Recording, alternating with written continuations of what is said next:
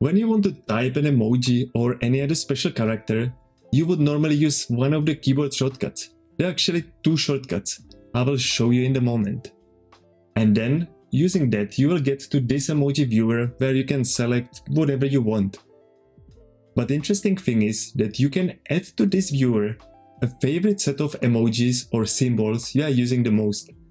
Let me show you how it's done.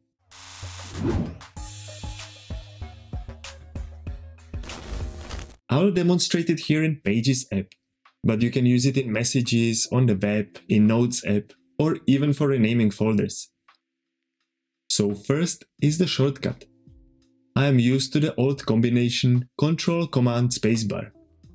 But you can also use the FN key, also known as the globe key, and the letter E.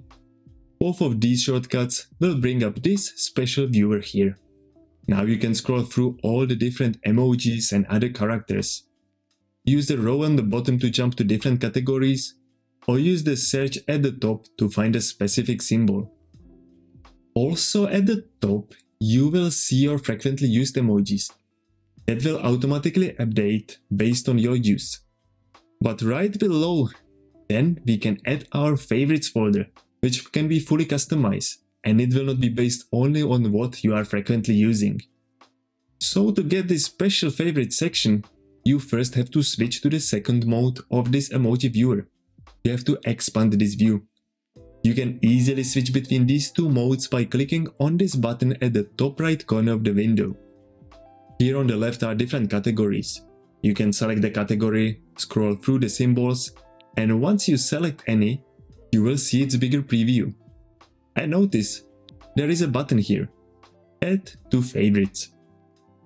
This only appears in this expanded character viewer, not in the small one, so you have to switch to this mode to add your favorites. But once I have added my first favorite emoji, I can switch back to the simple view and the category will already be here as well. Now let's go back and search for some more emojis. I can go to another section and maybe add another character there. But it doesn't need to be emoji only. You can still use this feature to get access to other symbols, like mathematical symbols. I can easily add this to favorite as well. There are actually a lot more categories than are currently listed. If you click here you can customize this list and add a lot more other symbols. I often use the technical symbols to describe the shortcuts. So I can turn on this category and add these symbols to my favorites as well. You can continue to add as many you want and you can simply manage your selection from here as well. If you want to get rid of one of them, simply select it and use the remove from favorites button. You can even drag and drop these icons to change the order. But before you close this window, make sure to go back to the standard view, because Mac always remembers the selected mode in which you have closed it.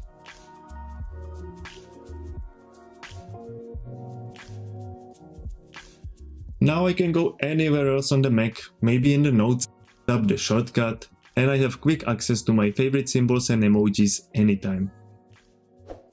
And if you want to have access to all of these tips and tutorials, then subscribe to Apple Online Academy and I'll get you some more in the next video.